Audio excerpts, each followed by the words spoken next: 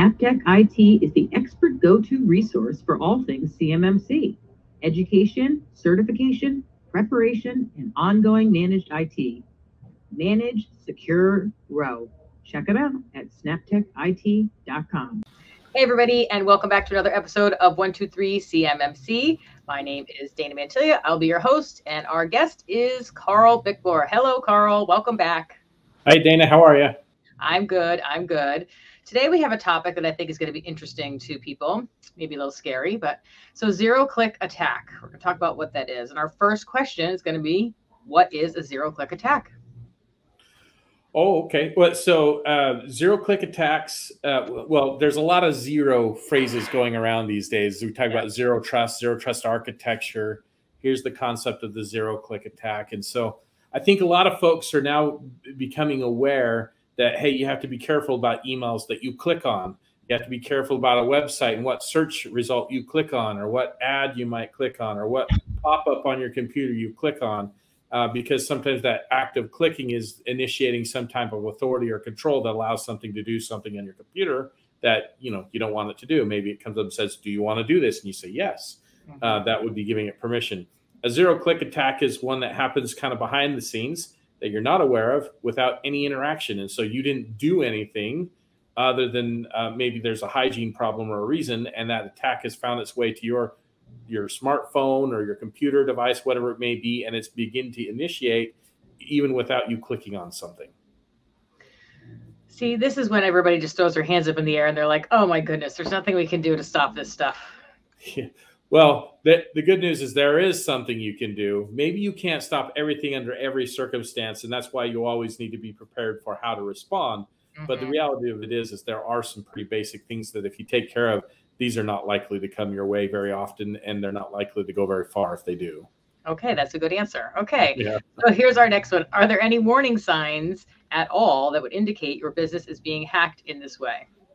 Well, it's a funny thing. I think more than anything, it's about being um, suspicious in your mind when things behave differently and recognizing, like, I just clicked that application and I gave it my username and password and my multi factor, and then it presented me with the login screen again. Why did it just do that? Hmm. Um, when things behave differently than you expect, even on a mobile device, sometimes they're getting super busy doing something and they start to actually heat up. They're like it's doing something in the background. Now, that can happen for normal reasons too. So it doesn't always mean you're being hacked if that happens, but sometimes things churn and just behave differently than normal. And that indicates that your computer is doing something or your phone is doing something, which could indicate that it's bad guys in, in the mix. Mm-hmm. Uh, and so, you know, the key thing is, is you're not going to be aware of it. And it's about being suspicious when things behave differently than usual or uh, in an unexpected way. Okay. Suspicion. Okay. So, how do businesses need to think about attack infiltrating networks through external devices? Well, I think the first thing is is you have to remember that the concept of like, you know, if I go into my office and I'm now behind the firewall, that theoretically that now means that I've you know got this thing protecting every piece of traffic that might find its way into the network. But the reality of it is is the the idea of the firewall being the line of what can get in and out of your your business is not true anymore. People bringing mobile devices, they plug them in, they can tether. You can find Wi-Fi in odd places. You can get access to data through ways that have been not available in the past. And so this like a whole concept of it just, you know, if once it's behind my firewall, I'm safe, it's not good. I think you should be thinking about the security both on the external side of your company with data and people and people working from home, but also inside your company. There is no line anymore that you shouldn't be thinking about protecting and having good practices, good um, uh, cyber hygiene, and also uh, detection tools in place for. So this means more monitoring of even smartwatches because if there's certain apps that are running on their device that then run on their so there's more to keep track of.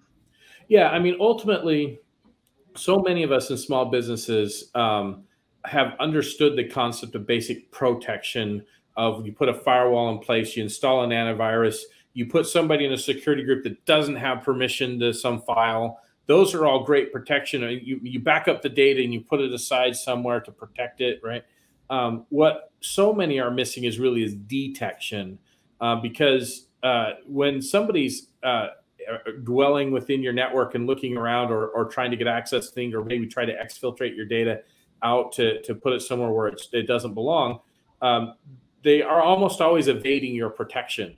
Uh, I mean, that, that's just the nature of it. And people feel like, well, I've I've paid for my backup and I got somebody who's got my antivirus installed. And they think I've done the things that it is. The reality of it is, is just like your home, you can have a great alarm system. You can lock your doors. You can do all these protection things.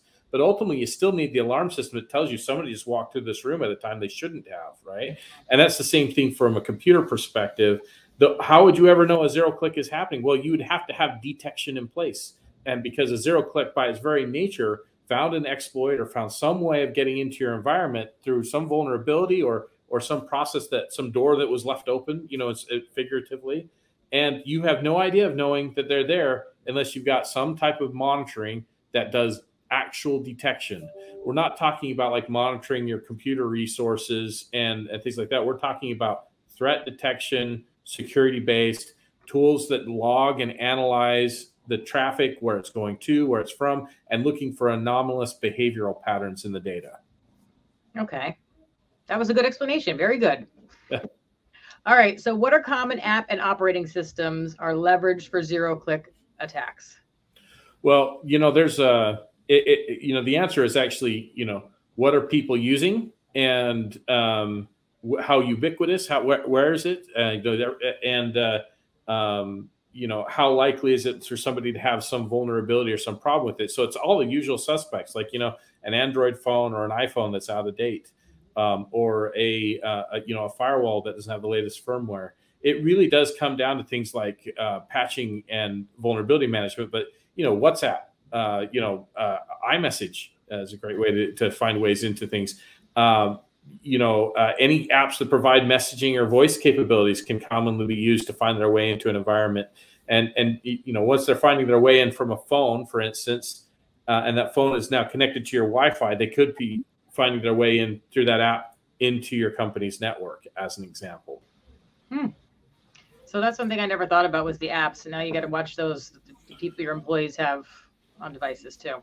Yeah, well, it's also so you know we can immediately jump to this, how do you how do you mitigate that, right? I mean, because there's no hard and fast warnings, right? As they say, they um, but you can do things like well, don't allow personal cell phones on your Wi-Fi network. That that way, that eliminates those apps. Or if you do, put them in a segmented network that can't touch anything else. That way, it can't spread. You know, there's there's things you can do to mitigate this. It's actually, by the way, it's pretty normal best practices. It's just shockingly often not done right? And and one because people don't necessarily know how, or they just for some reason whoever is implementing didn't really have security in mind when they were doing it. They were maybe keeping it simpler or more, uh, you know, just just more streamlined. And but the problem with that is is you you're introducing security vulnerability when you don't implement things like that with segmentation and with detection, as an example. So guest Wi-Fi that that that was yeah. yeah. Yes, Wi-Fi that's legitimately separated, as an example, would be a way that you would keep your phones from doing that, and you don't ever put your phones on your internal Wi-Fi. You put them on the guest only, mm-hmm. as, as, an example. That's a great great tip. Mm-hmm. Okay, that's fun. Everybody gets get get a guest Wi-Fi. Okay, so if there are no hard and fast warning signs that a zero-click attack is in progress, what are the best practices that DoD contractors can implement to minimize risk from attacks? Well, so you know, I feel like in a lot of ways we re- we really repeat ourselves with the fundamentals and basics, but there's a reason why. Is because most organizations we come across they're missing some basic function that they should be doing, right? So the basics are patch management. Mm-hmm. You're patching operating system. You're patching browsers. You're uh, patching phones. You're patching applications. You're doing the patching and vulnerability management you need to. Scan scanning for vulnerabilities having a hardening posture to your network where you segment traffic. Like you put your iot devices like you know programmable thermostats or smart boards or um, people's own wi-fi into segmented networks that can't talk to other things. There's just no reason your smart board needs to be able to talk to your server typically mm-hmm. you know so there's just how how can you create this segmentation to provide walls or barriers to things spreading around if something becomes compromised right mm-hmm. uh, and, and then and then it comes down to putting in meaningful threat detection you need some type of managed detection response mdr you probably need some type of SIEM like if you're in the dod space um, SIEM threat detection threat intelligence These are bare minimum requirements. You need to have log shipping, uh, all these tools that can do this that can help you know that somebody's lurking around that's coming from a place that they shouldn't be, uh, that's anomalous or strange, or you know, uh, or or even basic things like, hey, somebody just logged into this mailbox from Brazil. That's not right. Are they in Brazil? No, they're not. Well, why would they be logging in from Brazil? Only a detection tool would tell you that, mm-hmm. as an example. Okay. Well, at least there is stuff out there that you, that you can. It's just like you said. It's it's an organization not knowing that there is something missing in their in their protection. So. Yeah, yeah. Well, or even just fundamentally not understanding the difference between protection and detection and realizing that mm-hmm. very few organizations have made the journey into detection yet. It began in our industry in banking in a meaningful way. And the United States government has a lot of great things within the Department of Defense and other areas where they built out detection technologies. But it's now really commonly available, even for a small business on a budget a small business can afford, to put detection in place. And it involves, you know, log analysis. It involves additional security tools, but it also involves a human element to interpret that data because it could be hey, this is weird, but that's normal IT stuff happening, or no, this is weird, but that's bad people doing stuff. You sometimes really have to interpret that data to make sure you know exactly what's going on because they hide very well. Like I said, there was no click involved. There's no user to say, hey, I clicked on this thing and my screen turned red and it started demanding ransom. That's really bad stuff, but it's obvious where that came from at first. Yeah. You know, right. the zero click attacks um, are all about finding things that's lurking. And you know, the average dwell time of an attacker environment once they get in is many, many, many days. I've heard stats of 45 days. I've heard stats up to 90 days wow. that they're working with access to an environment before they do anything about it. They're just learning and growing and spreading, right? Mm-hmm. I don't know the exact stat, stats, so don't quote on me, but I guarantee you it's a lengthy, shockingly long amount of time that they're lurking around, not caught because there's no detection in place. Creepy, creepy, creepy. yeah, creepy. Creepy indeed. Well, it's definitely a threat, is yeah. what it is. It's a threat. All right. So, what tools do you recommend that DoD contractors take to minimize the risk of a zero-click attack? Well, so uh, you know, beyond segmentation of just having a guest Wi-Fi, I like the the buzzword that I begin with of the zero trust architecture, taking a zero trust approach. I think that it's uh, more comprehensive protection. It's still not detection like we were talking about. So if you don't have anything detecting in your network or on your systems, you need detection. You need a SIEM, you need an MDR, you need some of these things that are out there to help you with detection. But uh, you know, setting aside that, I like the idea of taking the approach that whether they're in your network, out of your network, working at home, nothing is trusted, zero trust. That means like on a computer system, you set up a computer with a tool that makes sure absolutely nothing can execute except what is expressly permitted rather than what is deemed. And we've talked about this in the past with application control. That's yes. an example of how you do zero trust. That way, you know, if somebody's lurking around and tries to get to this computer equipment through some vulnerability in, you know, WhatsApp or whatever the thing is that they found their way, when they get to that computer, that computer will say, okay, I'm receiving this script that's telling me to do something, but you know what? That's not on my list. Not allowed.